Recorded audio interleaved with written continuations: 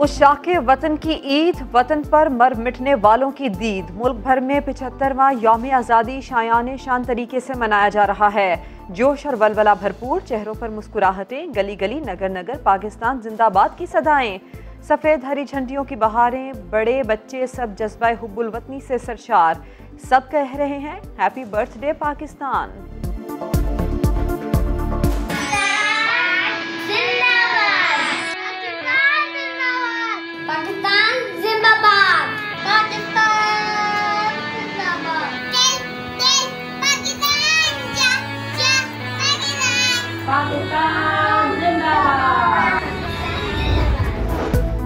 मोदी भारत में इकतदार में आया तो अंदाज़ा हुआ कायदे आज़म कितने जहाँ दीदा थे। मुआवन खसूसी शहबाज गिल कहते हैं, अल्लाह हमें करप्शन ना करने की तोफीक दे।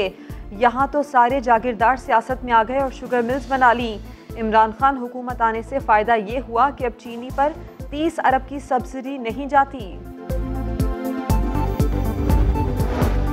कैदी भी जश्न आज़ादी मना रहे हैं। झंग डिस्ट्रिक्ट जेल में केक काटा गया। खातन, कैदी और बच्चों ने मिली नगमे गाए खानेवाल के डिप्टी कमिश्नर ने बुज़ुर्ग कैदी से केक कटवाया तो वो रो पड़े।